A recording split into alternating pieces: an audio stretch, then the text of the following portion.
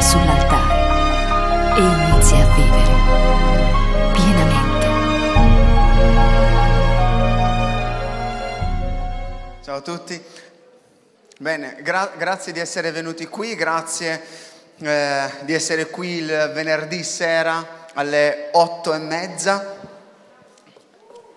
So che non siete venuti qui per me, ma siete venuti qui per Dio, per, per, imparare, però voglio onorarvi. Grazie davvero di essere qui perché state investendo in voi stessi. Il tempo è prezioso. Ormai non dico più che denaro perché non, non, è, che, non è che guadagno, quindi ho cambiato versione. Per me è prezioso, per qualcun altro è denaro. Ok, quindi sicuramente per me il tempo è preziosissimo. Di cosa parleremo stasera?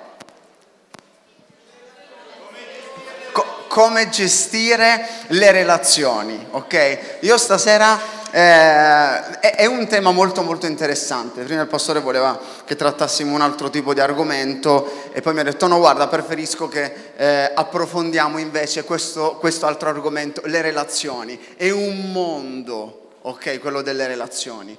Quello che posso fare stasera è darvi una chiave una chiave su quello che io ho imparato per le relazioni eh, anche perché la cosa più importante che vedremo stasera non è sapere determinate cose, ma è metterle in pratica, soprattutto. Le, le relazioni, ragazzi, le relazioni sono davvero una sfida. Eh, amen, sì. Le relazioni io spesso paragono le relazioni un po' a, a, questo groviglio qui. L'ho visto una volta in una copertina di un libro eh, e, e, spesso paragono anche le relazioni ai gomitoli. Sapete quando c'hai tutti quei gomitoli e mia nonna mi faceva raccogliere i gomitoli e tu dovevi sfilare, non riuscivi mai ad arrivare alla punta del gomitolo. Quando una relazione ti si attorciglia come questo nastro, non voglio dire che è la fine, ma è molto complicato. E, e per l'esperienza che io ho avuto, la mia esperienza limitata, ho, ho imparato proprio una cosa, che le relazioni sono importanti quanto complicate. Chi può dire la stessa cosa? Perché noi siamo complicati, fondamentalmente. Eh, io mi sono sempre chiesto perché Dio non può migliorare le mie relazioni da un giorno all'altro? Perché con un digiuno le mie relazioni non, non, digiuno 50 giorni, 80, il doppio, il doppio. Ti prego, alcuni digiunano per morire e non avere più poi quel tipo di relazione lì, ma non succede, perché Dio, Dio usa e vuole usare le nostre relazioni per cambiare noi stessi. Per, per, tante volte mi sono chiesto perché mi devo dare così da fare per gli altri? Perché mi devo impegnare in questo modo? Perché devo coltivare determinate relazioni? Siete arrivati al punto di dire io non sono fatto per le relazioni. Ok, io non so, basta, mi arrendo, io non sono fatto per le relazioni. E poi capisci una cosa, che noi siamo stati fatti ad immagine e somiglianza di Dio, che Dio è un Dio comunitario, Dio è un Dio trino, Padre, Figlio, Spirito Santo, quindi dice tu sei fatto a mia immagine, a somiglianza, tu hai dentro di te la potenzialità per vivere una relazione, perché io sono un Dio di relazione sono un Dio trino e c'è dentro di te questo seme della relazione, di saper tenere una buona relazione. Però poi c'è tutto un altro mondo attorno che rende la nostra vita molto molto complicata. Sapete, vi siete mai chiesti che cos'è che rovina una nostra relazione? Cos'è che rovina le nostre relazioni? Aspettate che mi si è staccato tutto.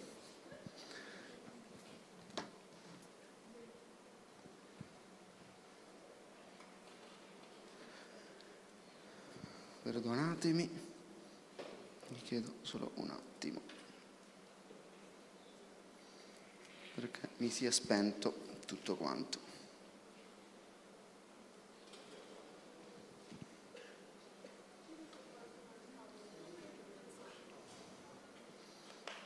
vediamo se riesco a riaccendere. No, tranquillo, non c'è bisogno del, dell'applauso di incoraggiamento. No, non sono imbarazzato per questo momento, ve lo assicuro. Stai cercando di risolvere perché... Ah, la tecnologia, guarda, meglio le persone. È complicato.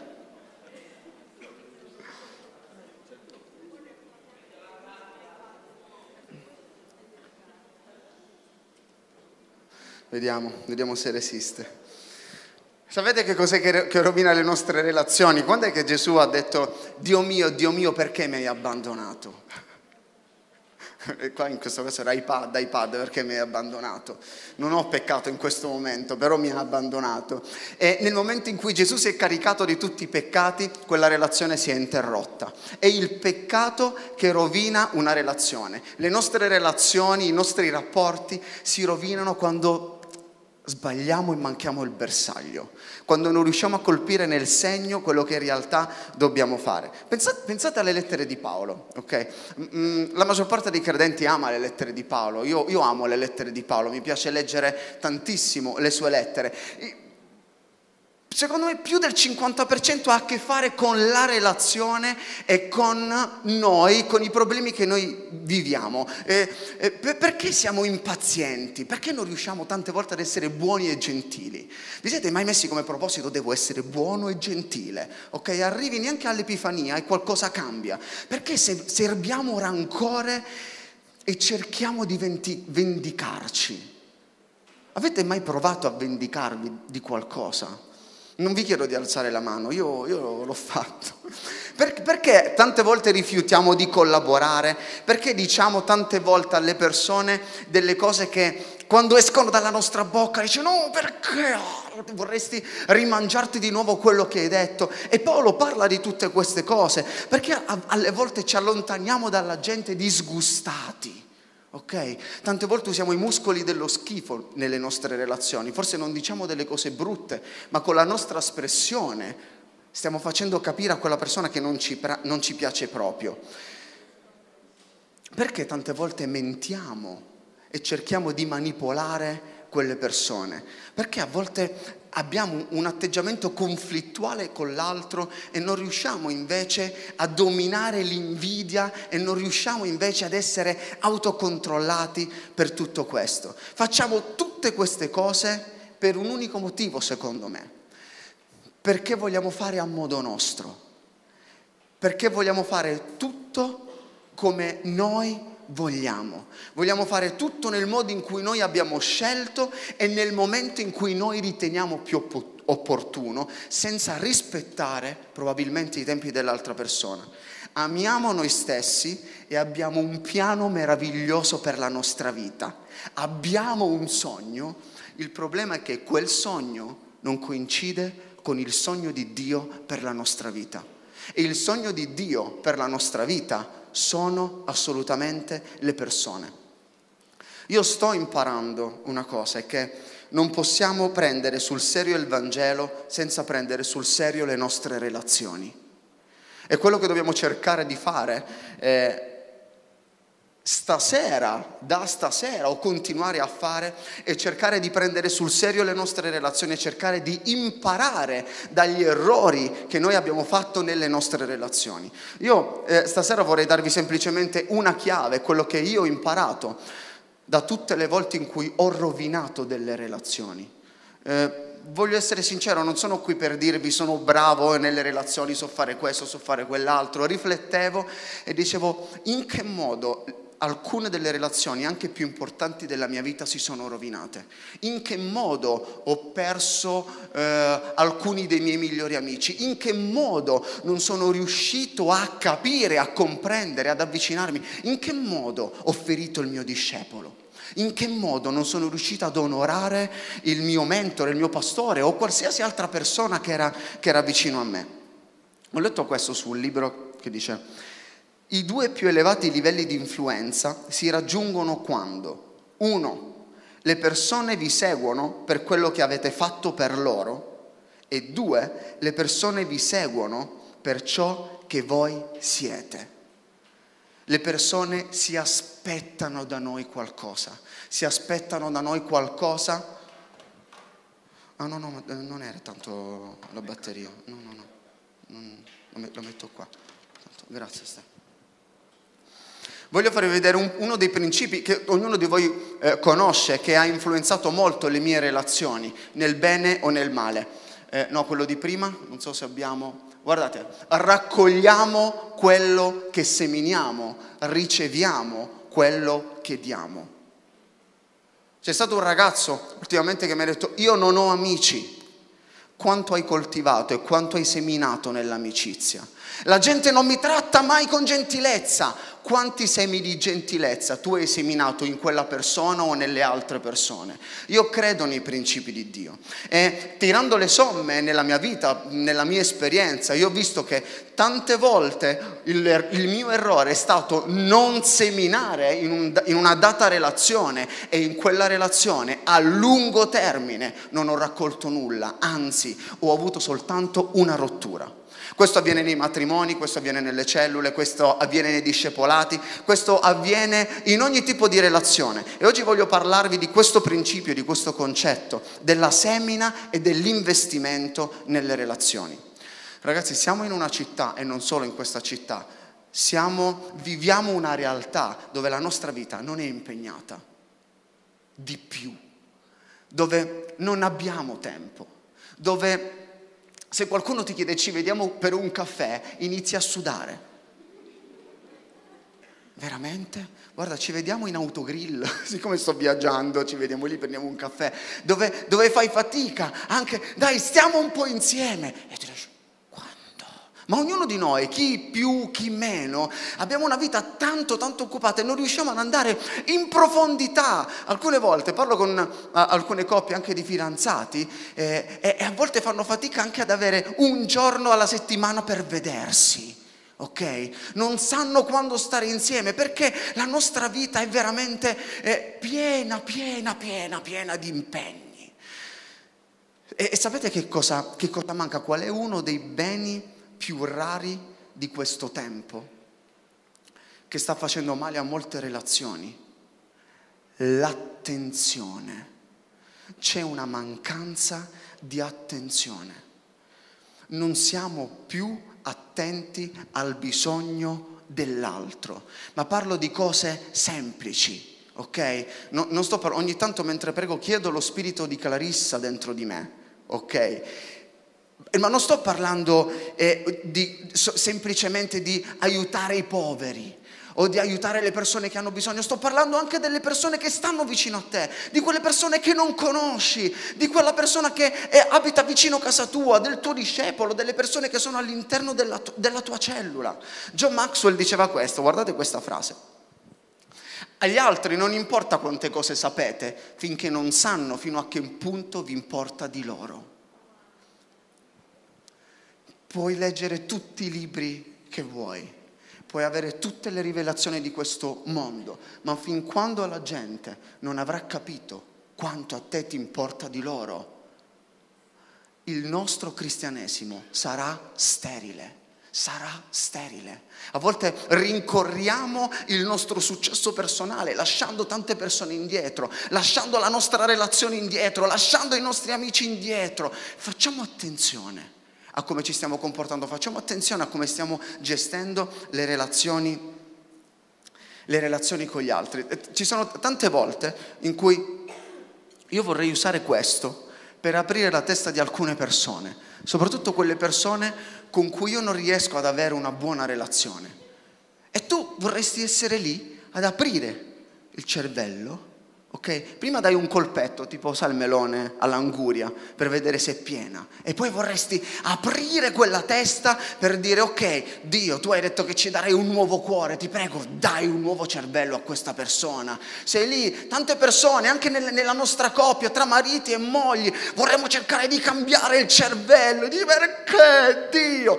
lascia subito il cacciavite quando sei lì che stai discutendo con tua moglie, con tuo marito, lascia, lascia il cacciavite e inizia a pregare. Ma Dio, guardate ragazzi, Dio ci ha equipaggiato per vivere delle buone relazioni. E noi vediamo queste armi in Galati 5:22. Guardate, leggiamo insieme. Cos'è che dice?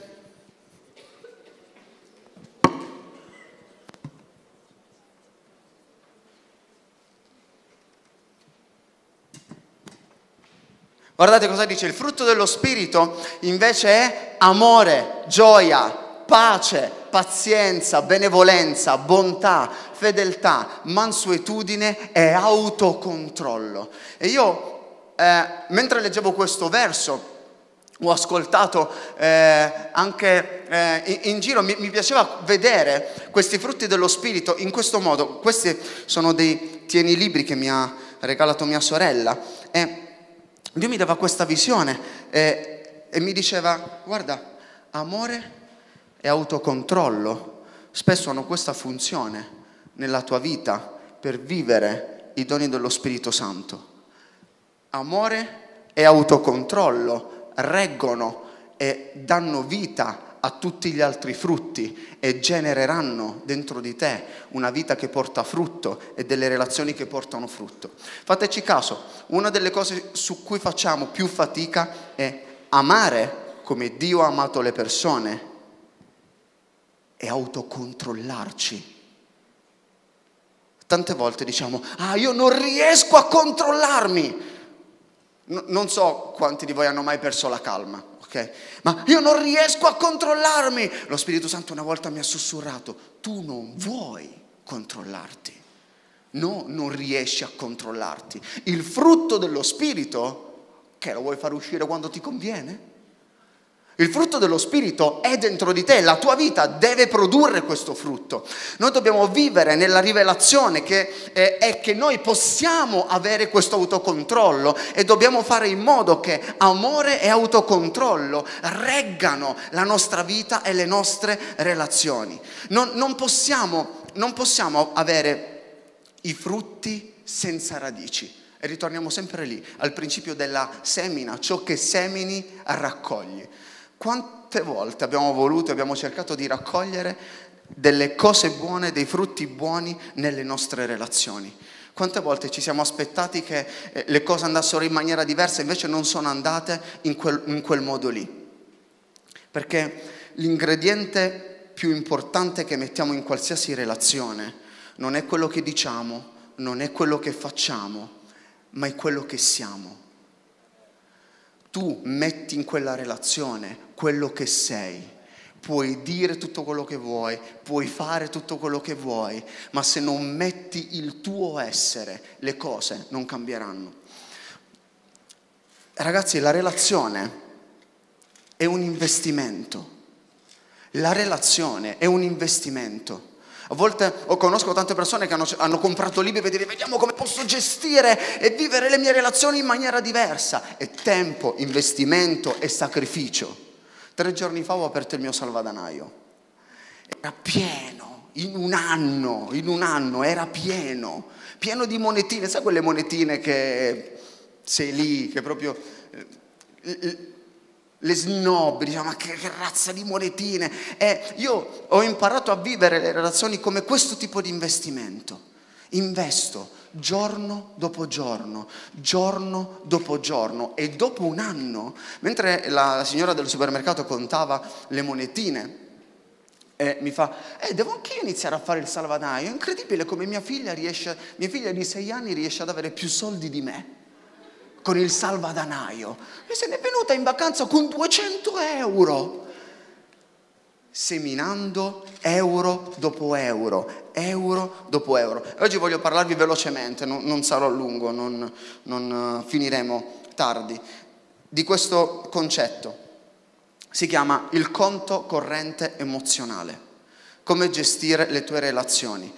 Gestisci le tue relazioni facendo attenzione a come stai investendo nel tuo conto corrente emozionale. Guardate,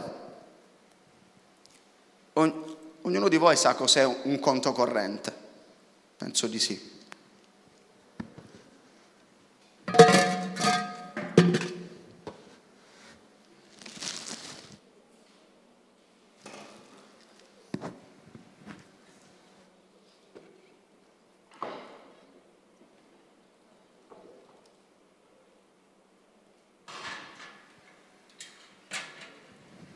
Questo è un conto corrente. Okay? Questo è il nostro conto corrente. Il conto corrente è semplicemente un, un luogo in cui facciamo un deposito di denaro. Ok? Perché fai questo deposito di denaro? Perché nel momento in cui tu hai bisogno di denaro vai a prelevare dal tuo conto corrente e hai dei soldi da utilizzare. E puoi fare la spesa, puoi comprare un regalo, puoi fare qualsiasi cosa. Eh, questo l'ho chiamato conto corrente emozionale. Che cos'è un conto corrente emozionale? Eh, è un conto corrente che si riempie di fiducia e di amore.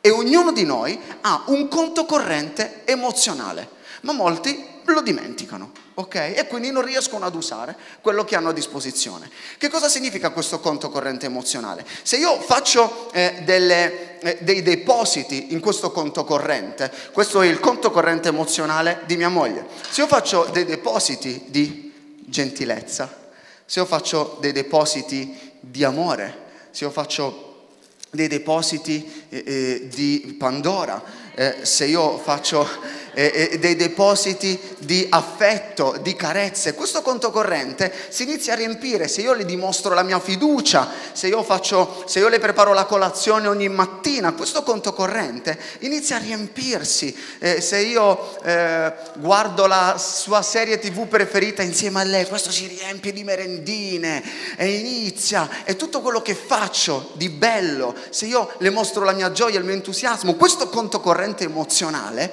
si riempie riempie nei miei confronti. Che cosa succede quando il conto corrente emozionale di una persona è pieno di fiducia, è pieno d'amore, è pieno di gentilezza? Nel momento in cui io eh, sono stanco e dico una parola fuori posto, c'è un prelievo.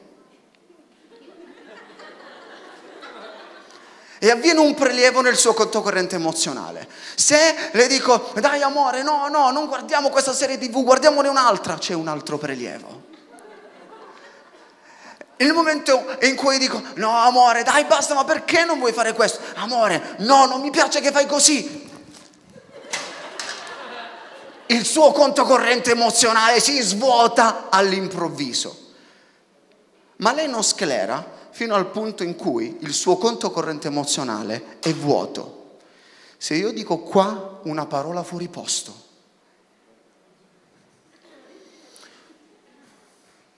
lei è capace di far parlare le pietre. Quelle merendine si trasformeranno in pietre e tutto andrà contro di me.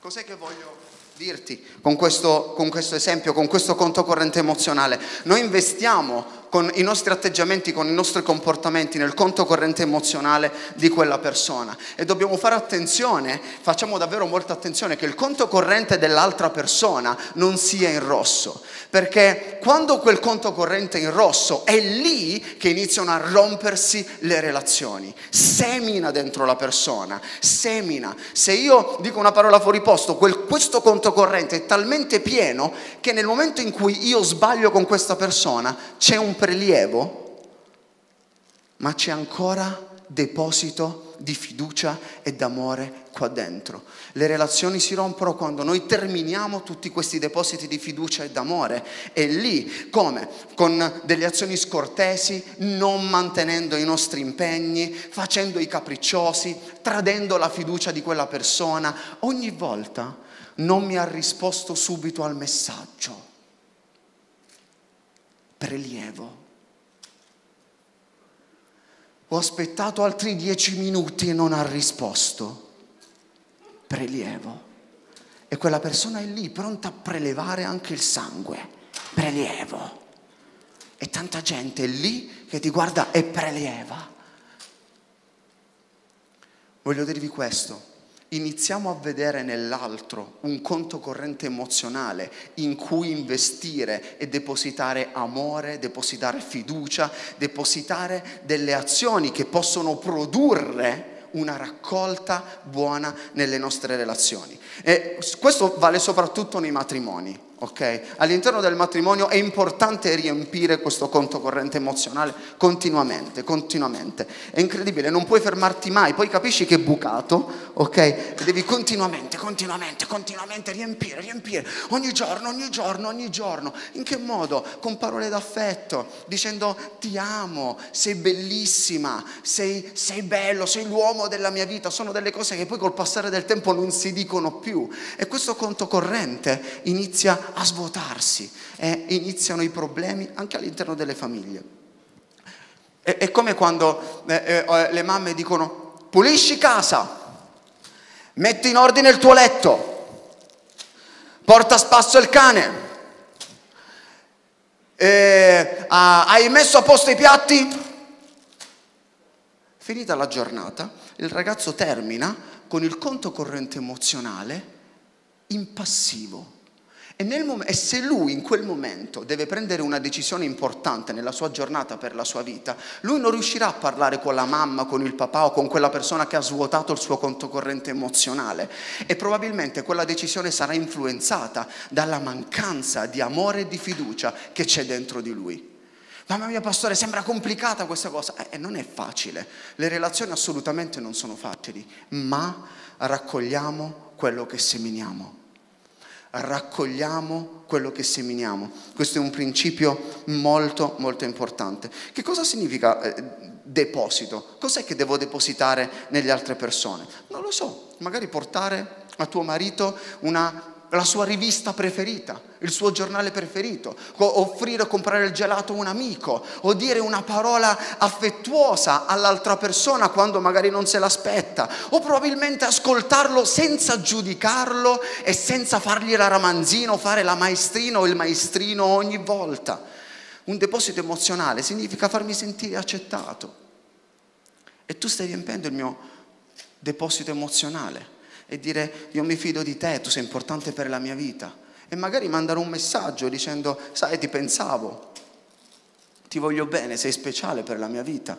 O semplicemente dare precedenza con la macchina, tu deposito emozionale e tu depositi nelle altre persone. Perché ecco la gente mi tratta sempre male?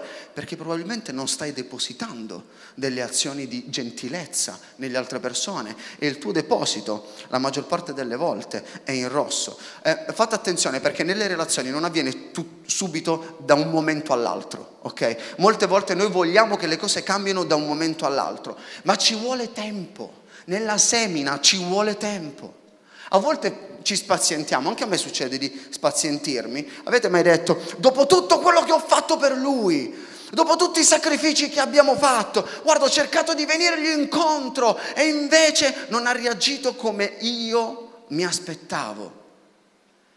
Ma ci vuole tempo per investire nelle persone, ci vuole tempo. Io questo salvadanaio l'ho riempito in un anno pieno di monetine. Non ci ho messo una settimana, non ci ho messo tre giorni. E tante volte tu in questo salvadanaio non capisci se è pieno, se è vuoto. È soltanto alla fine che ti rendi conto quando il tuo conto corrente emozionale è pieno e soprattutto quando iniziano i problemi all'interno della relazione. Ora vorrei fare un esercizio molto veloce con voi, 5 minuti. So che a tutti piacciono gli esercizi, per questo faccio gli esercizi. Fate così, prendete una persona, ok, vicino a voi, qualsiasi tipo di persona, e facciamo un esercizio di deposito emozionale, deposito verbale nell'altra persona. E fai dei complimenti o deposita parole di gentilezza, di affetto nell'altra persona che hanno veramente senso. Fai attenzione perché i depositi verbali non sinceri sono prelievi. E se tu non sarai sincero, ti rovinerai. Quindi ti consiglio piuttosto di non dire nulla e di non fare nulla. Ok? Quindi prendi una persona, ok? Guardati, guardati in giro, prendi questa persona 5 minuti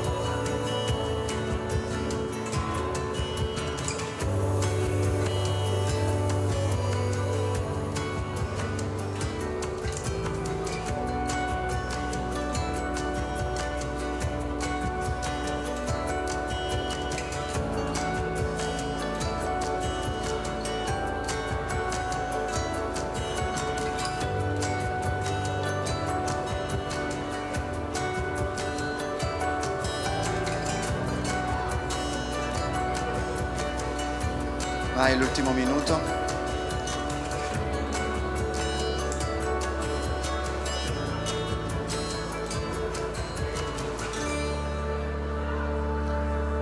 Vai, dai un abbraccio alla persona in cui hai depositato e digli dai forza ora ridammi tutto.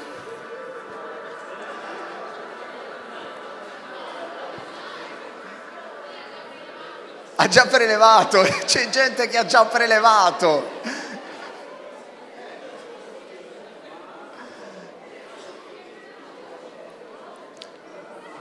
Ci sono delle coppie che stanno proprio depositando, ragazzi, calma, calma.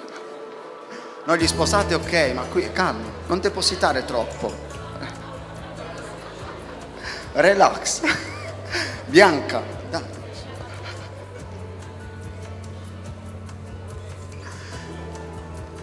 Sapete, può sembrare una cosa molto semplice, forse per qualcuno può sembrare anche banale, ma se noi facessimo davvero questo più volte, ok? Non è qui come la medicina ogni giorno, però come, come ti senti quando qualcuno ti apprezza? Come ti senti? Sapete perché molte, molte relazioni si rompono? Perché l'autostima della maggior parte delle persone è molto molto bassa. Tante volte non crediamo di avere valore, non crediamo di poter offrire qualcosa di buono alle altre persone. Anche, ah, non pensate, anche da, da chi voi pensate no, quella persona è impossibile, anche da quella persona.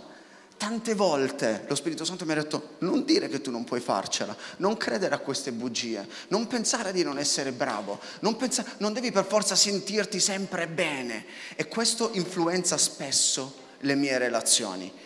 Eh, provate a farlo. Ma no, non è un esercizio, questo dovrebbe essere all'ordine del giorno, nelle nostre case, tra eh, figli, genitori, tra mariti, mogli, e seminare nell'altra persona, seminare nel nostro discepolo. Eh, ci sono tante relazioni, ho analizzato la mia vita e ho visto la differenza delle mie relazioni, le relazioni in cui io sto seminando e le relazioni in cui io non sto seminando. Ci sono delle relazioni in cui non riesco a seminare, faccio fatica a seminare e io vedo che lì c'è attrito nelle mie relazioni e Dio ci sta dicendo semina nella tua relazione, basta poco, probabilmente non è la rivelazione del secolo, ma è quello che può veramente salvare le nostre relazioni. Uno degli errori è che ci aspettiamo sempre dagli altri. Ci aspettiamo sempre dagli altri, ma ciò che semini è quello che raccoglierai. Io prego lo Spirito Santo che, poss- che vi possa essere rivelato questo nella, nella, vostra testa come Dio lo sta rivelando dentro di me. Ora, velocemente, sei depositi importanti da fare. Sei depositi importanti da fare. Vediamo il primo deposito, è comprendere la persona. Bisogna comprendere chi abbiamo davanti. Bisogna capire, venite pure Samuele, che noi siamo diversi. Ognuno di noi è diverso dall'altro. Siete d'accordo? Siamo, e, e la maggior parte dei problemi avviene perché siamo diversi dall'altro. Guardate loro, per esempio. Loro vi sembrano uguali? No? Loro non sono, non sono, per niente uguali. E all'interno del nostro matrimonio, non del nostro, ok, de, del, de, del loro matrimonio, noi viviamo queste differenze. Che cos'è che succede quando ci mettiamo nei panni degli altri? Attenzione, perché vi sto dicendo fate attenzione, comprendete la persona? Perché quello che per te è un deposito probabilmente per l'altra persona è un prelievo. Ti prego, dai, andiamoci, ti porto a fare una passeggiata. E noi pensiamo che stiamo facendo felice a quella persona. E quella persona dice, no, la passeggiata no. E pensiamo che stiamo depositando nell'altra persona, ok? Magari prendi un tuo discepolo, dai, andiamo a mangiare al Roadhouse, e magari è vegetariano, ok? E anziché depositare, stiamo prelevando. Oggi facciamo una cosa bellissima. Oggi ci guardiamo la partita insieme. Eh? Oh, da maschi. Magari a quello non piace il calcio. E tu anziché depositare, stai prelevando. E questo va, n- non parlo tra rapporto tra marito e moglie, ok? Lì proprio un gioco di depositi, eccetera, eccetera, eccetera, eccetera. Aspettate. E t- tante volte eh, faccio delle stories con eh, mia moglie avanti nel centro commerciale. Eh, che fa shopping, ok? Oddio, non è che mia moglie faccia shopping continuamente, ok? Grazie a Dio. E, però t- alcune persone mi hanno detto, oh, ma, ma, che bello, ma a te piace fare shopping? No, a me piace mia moglie e quindi vado a fare shopping con lei. Non è che ti deve piacere per forza quella cosa per depositare qualcosa, ok? Ma a me piace mia moglie. Ho letto questa frase molto bella Guardate, leggiamo, fa sì che quanto è importante per l'altra persona diventi importante per te, quanto è importante per te la persona stessa. E tante volte pensiamo che la cosa importante sia quello che stiamo facendo e non l'effetto che può avere sull'altra persona e non che è l'altra persona che è importante. A volte facciamo dei doni senza il donatore. Non è il regalo che è importante, anche, ma è la persona che dà il, de- il, che dà il regalo, che dà importanza a quell'oggetto lì. Ed è importante capire questo. Un proverbio cinese dice, l'inizio di ogni saggezza consiste nel perdonare agli altri il fatto di essere diversi da noi. Quella persona non mi capisce e continuerà a non capirti. Mi dispiace. Continuerà a non capirti e capire che siete diversi. Robert Zend, un autore di un libro che ho letto, dice, le persone hanno una cosa in comune, sono differenti. In questo modo, guardate, cosa significa? Indossare i panni degli altri.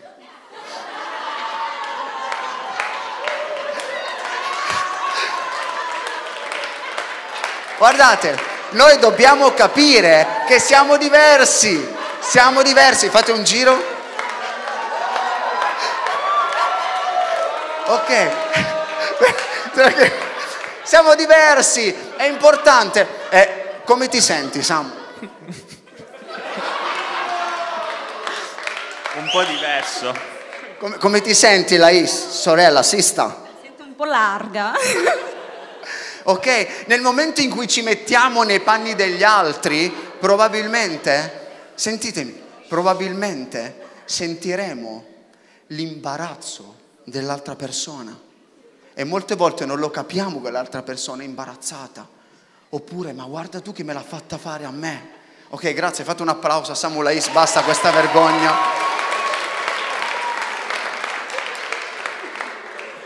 Perché? Perché la differenza genera scuse. Cerchiamo ogni volta una scusa per trovare una differenza. Ah, ma tu sei diverso. Matte, ma tu sei in questo modo. Noi non possiamo stare insieme. No, invece, che cos'è che fa l'amore? L'amore trova un modo. Se io continuo a vedere differenza tra me e Matteo, avremo sempre una scusa per non stare insieme.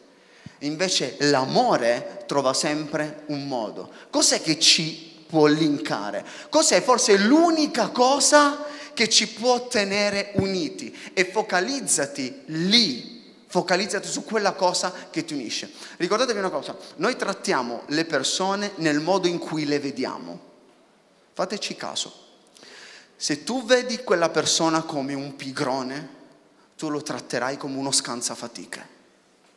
Se tu vedi quella persona come una persona antipatica, anche il tuo modo di parlare con quella persona sarà di conseguenza antipatico, perché se tu vedi quella persona invece come una persona simpatica, non ti rivolgerai a lui come se fosse una persona antipatica.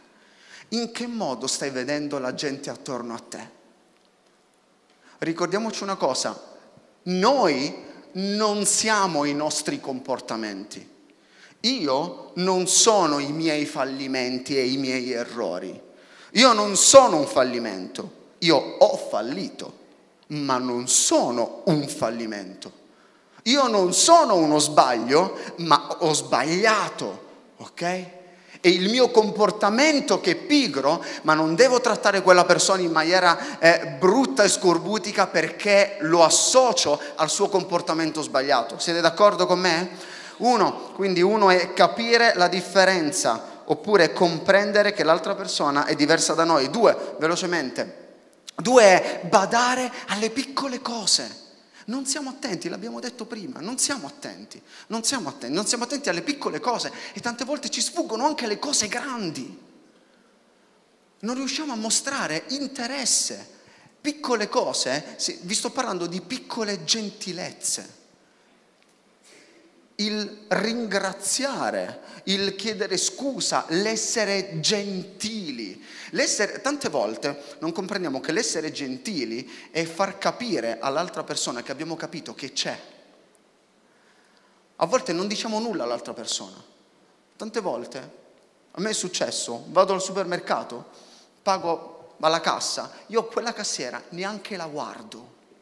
Cioè proprio passo quasi indifferente penso che sia una macchina, un robot in busto, a volte senza neanche salutare. È un grazie, grazie del suo lavoro. In, eh, sono andato a ritirare la, eh, le camicie mh, mm, in lavanderia eh, e praticamente, non lo so perché, c'era questa signora che mi faceva simpatia e io ho detto, quando l'ho salutata, lei era andata via nel, eh, dietro, dietro, il suo negozio, eh, ritiro le mie camicie, la saluto, salve signora, Dio la benedica, esce. Grazie, anche a lei, anche a lei meravigliata di questo Dio ti benedica a una persona a, a, all'interno di una lavanderia. La gentilezza, ho fatto una predica sulla gentilezza, non sarò qui a ripetere la predica sulla gentilezza, ma dicevo, siate gentili sempre, ovunque e con chiunque.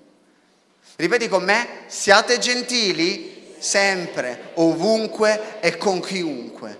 Non sai mai chi hai a fianco investi con atti di gentilezza. Non sto dicendo che è facile, ma sto dicendo che è una buona semina nella vita delle altre persone. Sapete, il termine gentile deriva dal latino eh, gentilem, che significa appartenere alla gens, alla gente patrizia, alla nobiltà. Ogni volta che tu sei gentile con un'altra persona, gli stai dimostrando che sei la stirpe eletta di Dio, il sacerdozio regale, stai, ti stai comportando da principe e re della famiglia di Dio. Voi apprezzate di più una persona gentile o una persona antipatica? Che domanda banale, vero? E quante reazioni banali abbiamo anche noi, vero? Con le altre persone. Noi dobbiamo costruire ponti con le altre persone e non dobbiamo distruggerli. In che cosa significa gentilezza? Gentilezza significa cedere il posto ad una persona, probabilmente essere sul tram, ci sono questi ragazzi che guardano il cellulare, magari c'è la signora eh, più grande di loro e non fanno sedere quella signora, piuttosto stanno lì a guardare il cellulare. Probabilmente atto di gentilezza è versare l'acqua a tavola Ovunque tu sia, versa l'acqua a tavola, versa la tua moglie, versa alle persone che sono a te, eh, vicino a te, servi. Questo è anche gentilezza, non dare nulla, nulla per scontato. Sii gentile. Se solo mettessimo in pratica questo, questo, guarda, nient'altro, essere gentili con tutti, tu spiazzeresti anche la persona più antipatica e non saprebbe che cosa risponderti. Tre, Terzo deposito, una cosa importante nelle relazioni che ti farà acquistare o perdere credibilità, mantenere gli impegni. Se hai preso un impegno con una persona, mantieni l'impegno con questa persona. Se la tua parola non vale nulla, alla fine neanche tu varrai nulla. Se tu hai preso un impegno, anche solo con la tua parola, sforzati e impegnati per portare a termine questo impegno. Questo significa, l'impegno può essere eh, prendere un tè, un caffè, farsi un giro con il tuo mentore, con il tuo discepolo, andare in cellula, arrivare continuamente in ritardo, oppure qualsiasi altra cosa, ok? Il non mantenere l'impegno ti farà perdere, ti farà prelevare nel tuo deposito emozionale e questo non creerà coesione nelle tue relazioni. Quarto, quarto, chiarire le aspettative. Le aspettative, quando tu non ricevi quello che ti aspetti dall'altra persona, inizi piano piano a disprezzare quella persona e a togliere valore e a prelevare dal suo deposito emozionale. Avete mai detto mi sarei aspettato questo da te? In realtà mi aspettavo questo da te. Ci sono delle aspettative, ok, dove sono quelle. Tu sai che devi comportarti in un certo modo, ma quando le aspettative non sono chiare possono portare a equivoci, possono portare a delusioni e possono portare a rottura all'interno di una relazione. Tu, eh, tu non, mi, non mi fai sentire amata, ok? Che cosa significa per te? Cosa dovrei fare per farti sentire amata? No, ho bisogno di più affetto, ok? Capiamoci, cerchiamo di capire che cosa tu ti aspetti da me, in che senso vuoi che ti faccia sentire più affetto. No, vorrei eh, che tu mi cucinassi ogni volta il pollo con le patate. Ok, quindi tu vuoi che ti cucino il pollo con le patate e basta. Il venerdì, ok, ti cucino il. Cercate, fate in modo che le vostre aspettative dall'altro siano molto chiare. Il mio discepolato con te non mi piace. Ok Perfetto, che cosa ti aspetti da me come mentore? Ok? No, vorrei, vorrei più, più amicizia. Bene, Cos'è per te l'amicizia? Solitamente gli amici, gli amici che cosa fanno? No, gli amici, gli amici bevono una birra insieme. Ok, va bene, quindi per te, eh, a te basterebbe bere una birra insieme? Ok, sì, basta che offri tu. Ah, pure, pure ok. E va bene che le aspettative devono essere chiare, però cercate di avere chiarezza nei rapporti. Questo vale ancora molto di più all'interno del matrimonio e anche all'interno della sessualità nel matrimonio. Molte coppie hanno problemi anche a livello sessuale perché non comunicano, non parlano. Eh, Peter Krauss disse, è una cosa, detto questa frase, Sembra così banale nelle relazioni, che si de- sembra così banale, ma nelle relazioni si deve comunicare. Il primo assioma della comunicazione, tu non puoi non comunicare. Qualsiasi cosa tu faccia è qualcosa che stai comunicando. Quindi fai in modo che il tuo messaggio arrivi nel migliore dei modi. Mi aspettavo che mi chiamassi ieri sera, sono stato male. Ok, guarda, scusami, io non ti ho chiamato perché solitamente quando io sto male e mi chiamano mi dà fastidio. Ok? Quindi che cosa facciamo noi? Tante volte pensiamo che all'altra persona faccia piacere quello che fa piacere a noi. Chiariamo quindi le aspettative. Perfetto, se, quando, se tu vuoi che io ti chiami quando stai male, la prossima volta ti chiamerò e inizi a definire le aspettative dell'altra persona. Ok? Chiaro il concetto? Molto, molto semplice. Quinto, quinto, abbiamo quasi terminato. Un'altra cosa molto, molto importante. Dimostrare coerenza personale. È importante dimostrare coerenza personale. E in che modo si può dimostrare coerenza personale? Uno dei modi più importanti per dimostrare coerenza è essere leali verso quelle persone che non sono presenti. Se tu sei leale e non parli male delle persone che non sono presenti, tu stai mantenendo la fiducia dei presenti e tu stai depositando credibilità nel, deposito, nel conto corrente emozionale di quelle persone. Ogni volta che tu parli male di persone che non ci sono, che cosa fai? Inizi a togliere fiducia e credibilità dal conto corrente emozionale delle persone presenti e avrai una relazione sbagliata con le persone assenti e un conto corrente che inizia a svuotarsi con le persone presenti. E come diciamo sempre, se una persona parla male di qualcuno davanti agli altri, lo farà anche di te prima o poi. Sesto, Sesto, abbiamo terminato questa spilza di punti. Scusiamoci sinceramente in caso di prelievo e ringraziamo in caso di deposito. Per me sono due parole magiche, grazie e scusa. Ci sono state delle volte che mia moglie mi ha detto, oh, basta, non è che mi devi sempre dire grazie, scusa, grazie, scusa. Sono tua moglie. E eh, vabbè, grazie, scusa, hai capito? Grazie e scusa. Ripeti con me? Lo sai dire, vedi? Lo puoi dire. Nessuno si è manifestato, ok? In questo momento. L'importante è che le scuse sono sincere. Nel momento in cui tu fai una scusa sincera, tu stai depositando nel conto corrente emozionale. Se tu farai delle scuse ripetitive, noiose e non sincere, tu stai prelevando. Quindi è meglio non farle queste scuse, altrimenti ti rovini la vita e stai prelevando dal conto corrente emozionale. Scusa, le persone veramente forti sono quelle che chiedono scusa subito, subito. Le persone deboli sono invece quelle che scappano dallo, dal, dal chiedere scusa. Chiedi scusa all'altra persona. Se hai sbagliato con tuo marito, con tua moglie, con i tuoi figli, con qualsiasi altra persona, guarda scusa, scusami, perdonami, ho sbagliato, ti chiedo veramente scusa. E poi la gratitudine. Ragazzi, la gratitudine è, sono tante piccole chiavi che già conosci. Se mettessimo veramente in pratica queste cose, il Vangelo è pratico e va messo in pratica, è quello che cambia la vita. La gratitudine è l'antidoto per la paura e la rabbia.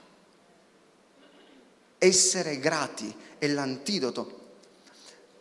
Non puoi essere arrabbiato e grato allo stesso tempo. Devi decidere, ok? Se io ho litigato con Stefano, non posso, devo decidere, o sono arrabbiato con lui, oppure no, lo, ring- eh, lo ringrazio lo ringrazio, è sempre presente, è fedele, è affidabile e piano piano la rabbia se ne va. E poi no, no, non posso, devo continuare ad essere arrabbiato con lui perché devo fargliela pagare. Non può passarla liscia così. È come se la nostra rabbia potesse punire quella persona. Gratitudine, gratitudine. Scegliamo la gratitudine. Che cos'è? Quando, quando ringrazi, se io devo ringraziare Michele, io devo mettere a fuoco Michele e devo dimenticarmi di me. Quando tu hai un cuore grato verso una persona, automaticamente tu ti dimentichi dei tuoi problemi, della tua rabbia, di tutto quello che hai, perché devi focalizzarti su di lui. Io non posso essere grato se non mi concentro sulla cosa, sulla persona per cui sono grato. E poi un'altra cosa che mi piace del ringraziamento è che ti porta indietro nel tempo. Salmo 103 dice, benedici anima mia il Signore e non dimenticare nessuno dei suoi benefici. Non focalizzarti su quello che non sta andando nella tua vita o nelle tue relazioni. Concentrati su quello che probabilmente nel passato è andato. Forse non sono tante cose, forse sono poche cose, ma concentrati su tutto questo. Siete d'accordo?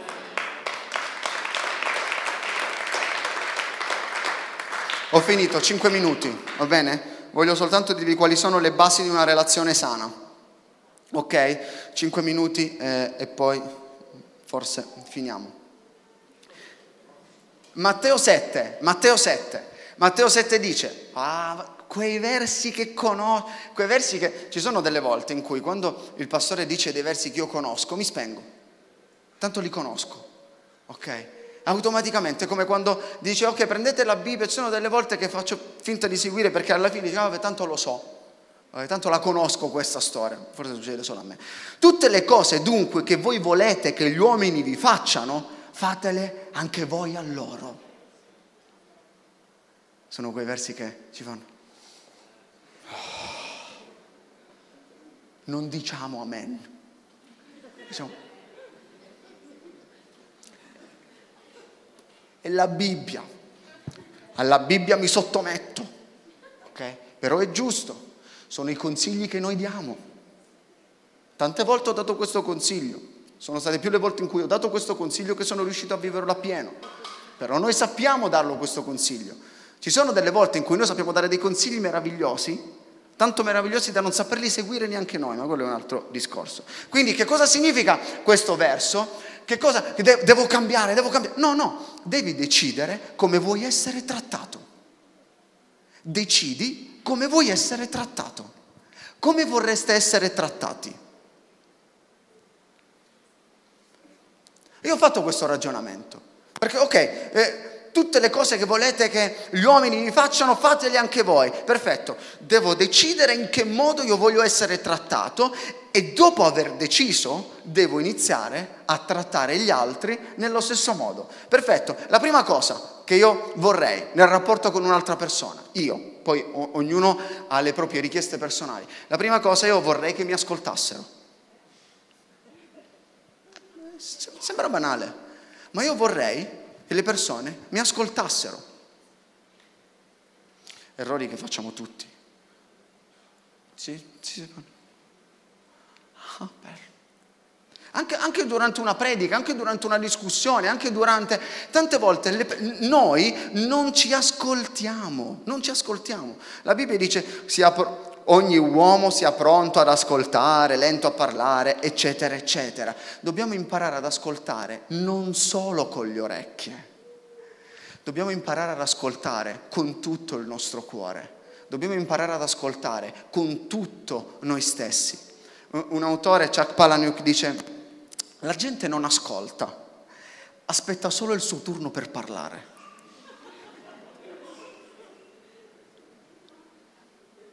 Tante volte ho fatto questo errore, ok?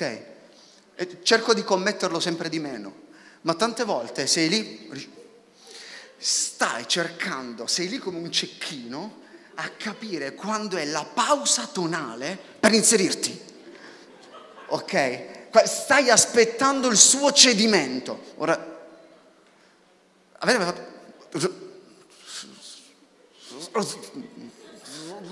Sembra che, sembra che stai per vomitare. Sei lì che aspetti il tuo turno per parlare. Quello sta parlando, sta parlando, sta parlando. E dentro di te stai pensando, aspetta che mo tocca a me. Ok? E sei lì in qualsiasi tipo di relazione. Non, non, esistono regole. Io non posso darti le regole per dire aspetta, vi do dei consigli per sapere ascoltare bene le persone. non lo so, io non, non, non sono una persona, eh, un, un, professionista che tipo, ti posso dare un consiglio. Per me vale più di qualsiasi cosa. Un consiglio per imparare ad ascoltare si chiama la presenza. Non la presenza, è la tua ok? Non è che ora che prima di fare one dici, invochiamo la presenza. no, no, no, no, non fare questo perché se, se non poi il pastore dice, ma cosa hai detto di invocare la presenza? No, è la tua presenza. Eh, un, qualcuno, diceva un pastore evangelico una volta ha detto questo, ovunque siate, siateci completamente decidi di esserci. È molto difficile, è molto difficile perché dobbiamo fare una differenza tra persone reali e persone virtuali. Oggi possiamo essere ovunque contemporaneamente, ok? No, non ti preoccupare, tu parla, tu parla. Tu parla, no, no, tu parla. Ah, ok, io parlo. No, che mentre lavoro qui ci sono persone virtuali a fianco a voi ci sono persone reali. Attenzione a non confondere la realtà da quello che non è realtà. Eh, terzo, eh, no, secondo, non lo so, comunque. Primo, primo vorrei che mi ascoltassero, ok? Secondo, secondo, vorrei che mi incoraggiassero, ok? Eh, vorrei che eh, mi dicessero delle parole di incoraggiamento mi piacciono, mi fanno bene le persone che mi incoraggiano. Per me un incoraggiamento è, ehi forza, eh, ti voglio bene, grazie che ci sei. Ma magari dopo una chiacchierata di una cosa che non c'entrava niente. Magari, oh, wow, che bello. Molti di noi non pensano di essere preziosi. Tante volte abbiamo quel dubbio di non essere preziosi per le altre persone. Incoraggia le altre persone. un vero amico ti costringe ad avere una buona opinione di te. ti costringe ad avere. Quello è un vero amico. E terzo, perché poi voglio parlare di un'altra cosa, e vorrei che mi parlassero in un certo modo. Ci sono delle persone che... Ecco, una, una delle cose su cui ci tengo in maniera particolare è il modo in cui le persone comunicano con me e quindi il modo in cui io devo comunicare con le persone. Leggiamo un verso in Efesini. Io penso una cosa e poi concludo con questo, che la comunicazione è il cemento delle relazioni. Tu puoi prendere due mattoni ma se non metti cemento, de- cemento in mezzo non puoi unirli e non rimarranno attaccati. La comunicazione è il cemento delle relazioni. Da lui, da chi? Da Gesù. Ok? Tutto il corpo ben collegato e ben connesso mediante l'aiuto fornito da tutte le giunture trae il proprio sviluppo. Qua dice che Gesù tiene unito il corpo ok? È Gesù che tiene unito il corpo di Cristo, che tiene unito le persone. Siete d'accordo? Poi Efesini continua e dice in questo modo, perciò bandita la menzogna, ognuno dica la verità, perché siamo membri gli uni degli altri. E qua parla di comunicazione, di dire la verità, di non dire la bugia, di come parliamo. Continua Efesini, altri versi, e dice nessuna cattiva parola esca dalla vostra bocca, ma se ma se ne avete qualcuna buona che edifichi, allora dilla, perché in questo modo puoi incoraggiare chi l'ascolta. Ed Efesini continua e dice, fai attenzione, è importante a quello che dici. Poi continua. Via da voi ogni amarezza, ogni cruccio, ira, clamore, parola offensiva, ogni tipo di cattiveria. Basta, siate misericordiosi, perdonatevi a vicenda. E poi concluderemo con questo. E parla ancora, parla ancora di comunicazione, comunicazione. E poi leggo in Giovanni 1.1, guardate, nel principio era la parola e la parola era con Dio e la parola era Dio. Dio ha posto così tanta importanza e ha dato tant- a questa priorità alla comunicazione da chiamare se stesso la parola. Secondo voi, se Dio si è chiamato in questo modo, se colui che si è fatto chiamare la parola, quanto pensate sia interessato al modo in cui noi parliamo e al modo in cui noi comunichiamo? La nostra comunicazione è il cemento delle nostre relazioni. Ho, letto in un libro un, uno scrittore britannico, Chesterton, il Times gli ha chiesto, gli ha mandato una mail e gli ha detto che cosa c'è di sbagliato nel mondo? E lui ha risposto in questo modo. Questa è stata la sua parola, la sua risposta. Io, io. Siamo sempre pronti a criticare l'altro siamo sempre pronti a lamentarci. Oggi siamo, è molto facile trovare la colpa nell'altro, è facilissimo, come trovarla anche noi stessi. Siamo sempre lì pronti a trovare quello che manca nell'altra persona. È come eh, una vignetta di Charlie Brown che gli chiedono eh, vorrei cambiare il mondo e eh, l'altra persona gli chiede vabbè da dove vorresti iniziare? Da te. E tante volte facciamo così, anche per l'altra persona, da dove vorresti iniziare? Vorrei iniziare da te. Oggi serve meno critica e molto più autocritica. Siete d'accordo? E concludo con questi semplici consigli. In che modo possiamo migliorare le nostre relazioni, noi stessi e anche gli altri? Primo, secondo me dobbiamo cambiare il modo di usare i media e i social media è anche il nostro Whatsapp. E dobbiamo usarlo, dobbiamo passare da uno spirito di denuncia e di contestazione a uno spirito di incoraggiamento. Tante volte usiamo i social come haters. Sì, ha ragione, è sbagliato. Non lo usate in questo modo, piuttosto non lo usate, non alimentate le discussioni anche nei gruppi Whatsapp. Dovete, non dovete mettere benzina nei gruppi Whatsapp, dovete gettare acqua, dovete incoraggiare. Un'altra cosa, resistete alle critiche e agli insulti, perché ognuno di noi le vive, in una maniera o nell'altra. Fai in modo che il tuo messaggio trasmetta qualcosa di buono all'altra persona.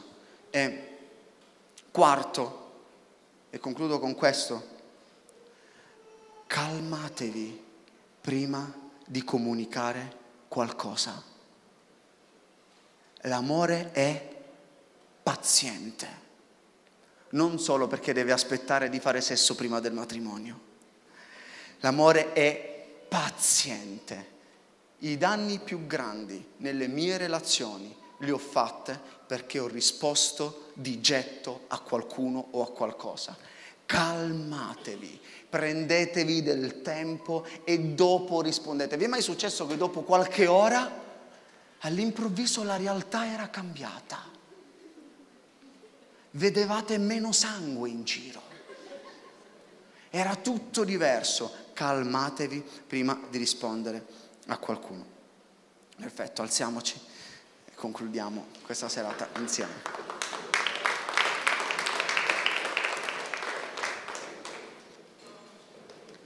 E ultima, ultima cosa, e poi pregheremo per questo, una delle cose che vorrei dalle persone e vorrei che le persone mi perdonassero. Pretendiamo sempre dagli altri, a volte dall'altra parte non c'è pietà, c'è sempre pretesa, pretesa, pretesa. Io vorrei che le persone a me vicino mi perdonassero. Non so se hai qualcuno da perdonare o se vorresti essere perdonato.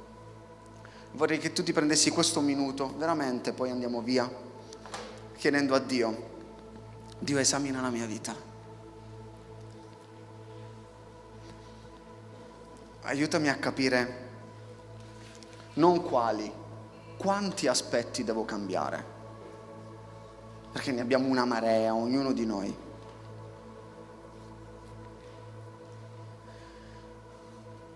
Dio insegnami a riempire il conto corrente emozionale degli altri, aiutami a produrre frutti da riversare nella vita delle altre persone.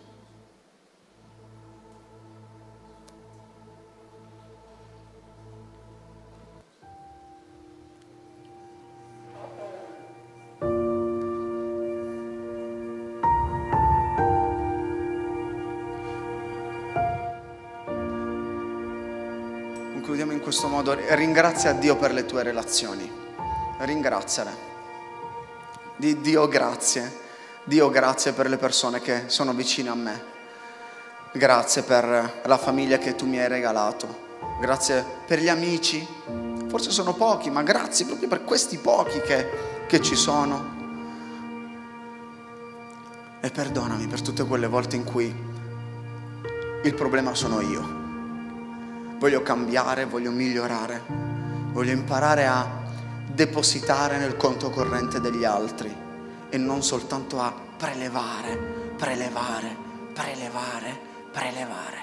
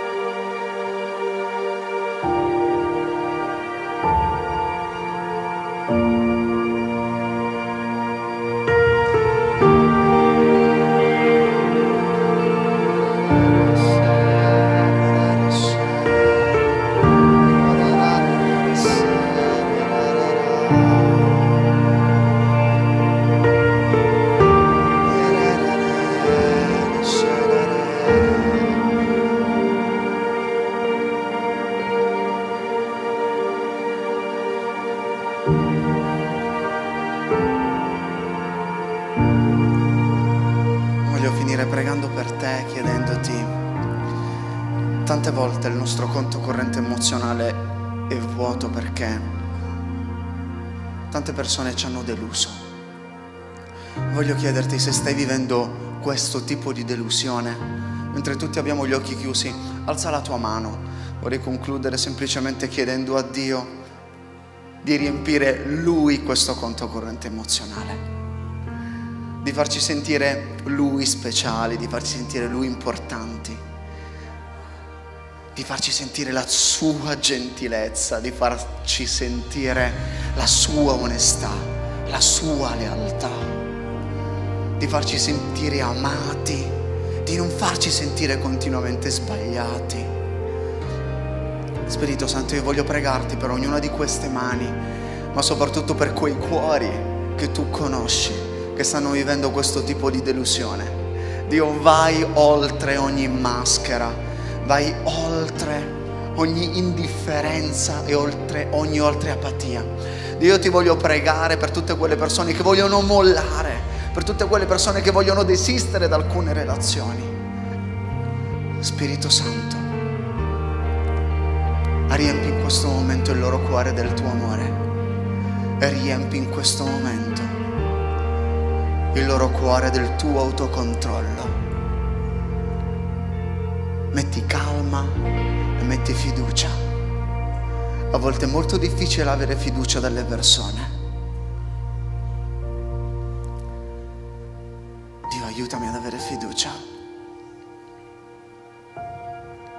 Aiutami a non mollare. Aiutami a non mollare.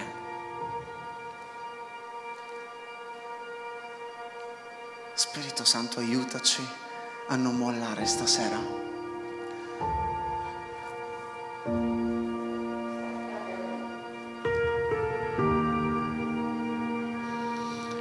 Aiutaci a non mollare. Dio ti prego per ogni cuore che in questo momento è malato, per ogni cuore che in questo momento ha disprezzo dentro. Noi vogliamo lasciarti ogni sentimento negativo, noi vogliamo lasciarti ogni pensiero negativo, noi vogliamo lasciarti ogni aspettativa delusa, lo vogliamo lasciare qui stasera per fede, Dio qui per fede. Siamo stanchi di stare male, io non voglio stare male, ognuno di noi non vuole stare male. Dio la, lo mettiamo a te. Metti per fede la tua mano sul tuo cuore, dicendo Dio, il mio cuore è tuo semplicemente. E so che tu te ne prenderai cura. Non per forza, non per la bravura di qualcuno, non per la potenza di una predica, ma perché tu, Spirito Santo, mi stai guarendo. Nel nome di Gesù. Amen.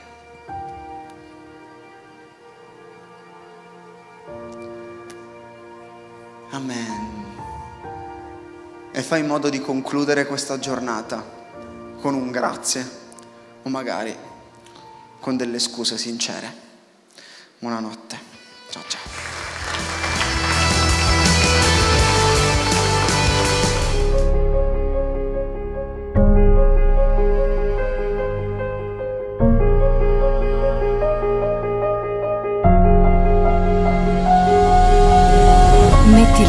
Sull'altare e inizia a vivere.